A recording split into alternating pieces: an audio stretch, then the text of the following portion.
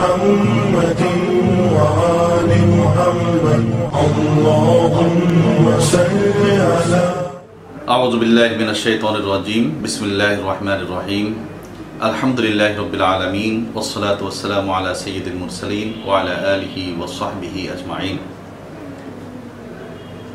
DD টিভির পক্ষ থেকে সকলকে শুভেচ্ছা ও সালাম জানাচ্ছি আসসালামু আলাইকুম রহমতুল্লাহ তালা বরকাত আজকে রমজানের সতেরোতম দিন। আল্লাহ রবুল্লা আলমিন উম্মতে মোহাম্মদের জন্যে রমজান একটি বড় ধরনের আশীর্বাদ হিসেবে পাঠিয়েছেন। এই রমজান শুধুমাত্র মুসলমানদের জন্যেই আল্লাহ রবুল আলমিন রোজা রাখাকে ফরজ করেননি। ইতিপূর্বে যে সমস্ত উম্মাদ পৃথিবীতে এসেছেন, নবী রসুল এসেছেন, তাদের সময়েও এই রমজানকে এই রমজানের রোজা তাদের উপরেও কিছু না কিছুভাবেই ফরজ ছিল। তারই ধারাবাহিকতায় আল্লাহ রবুল আলমিন আমাদের জন্য এই রমজানকে ফরজ করেছেন। পবিত্র কোরআনুল করিমে আল্লাহ রবুল আলমিন ইরশাদ করেছেন, ইয়া ইয়ুহাল্লাযীনা আমানু কুতিবা আলাইকুমুস সিয়াম কামা কুতিবা আলাল্লাযীনা মিন ক্বাবলিকুম লাআল্লাকুম তাত্তাকুন। হে ইমানদারগণ তোমাদের জন্য রোজা ফরজ করা হয়েছে, যেভাবে তোমাদের পূর্ববর্তী উম্মতদের উপরেও রোজা ফরজ করা হয়েছিল, যেন তোমরা তাকওয়া অবলম্বন করতে পারো। আসলে রমজানের যে মূল শিক্ষা, সেটা হচ্ছে আমাদের আত্মিক উন্নয়ন, আত্মিক ডেভেলপমেন্ট। এই আত্মিক ডেভেলপমেন্টের বড় একটি অনুষঙ্গ হচ্ছে তাকওয়া। মূলত আল্লাহ রব্বুল আলমিনের এবাদত এবং আমাদের যত ধরনের কাজ করব তার মধ্যে আমাদের তাকওয়া থাকতে হবে, এখলাস থাকতে হবে। মূলত নৈতিক বা আত্মিক ডেভেলপমেন্টের উন্নয়ন ছাড়া কখনো একজন মানুষের, একজন মমিনের কোনো এবাদতবন্দিকে আল্লাহর কাছে কবল হয় না? সমানিত উপস্থিতি, আজকে আমরা এই সতেরোই রমজান একটি ঐতিহাসিক বিষয় আপনাদের সামনে অবতারণা করতে চাই।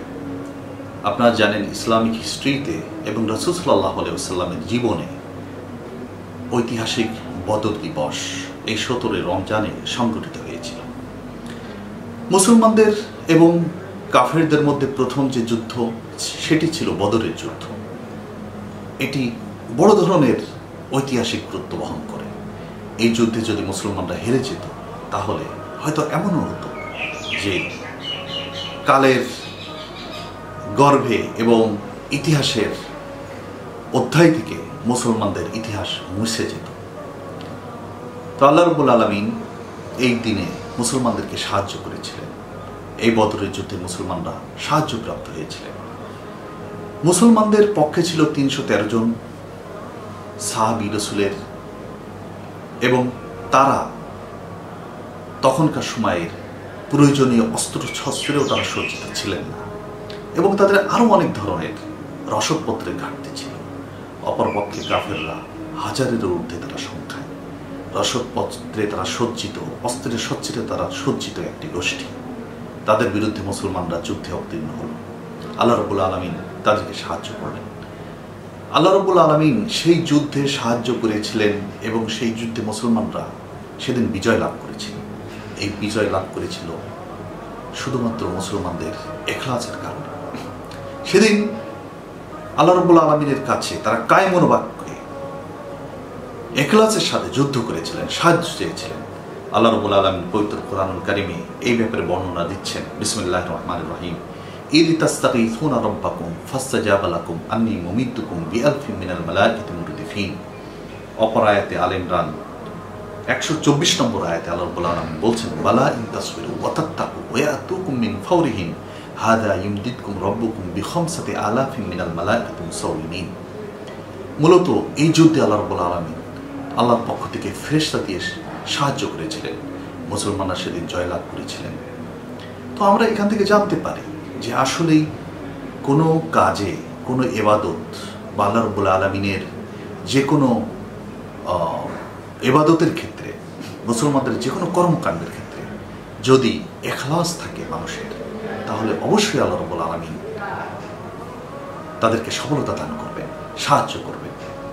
তো আমাদের এই রমজানে আল্লাহ রব্বুল আলমী যেন আমাদের সেই তাকোয়া এখলাস এবং আত্মিক উন্নয়নের যতগুলো শিক্ষা আছে, যতগুলো পদ্ধতি আছে, সেটা যেন আল্লাহ রব্বুল আলমিন আমাদের অর্জন করার তৌফিক দান করেন এবং আমরা যেন আমাদের প্রত্যেকটা কর্ম তাকুয়ার ভিত্তিতে এখলাসের ভিত্তিতে সম্পাদন করে ইহকালে এবং পরকালে যেন নাজাদ পেতে পারি।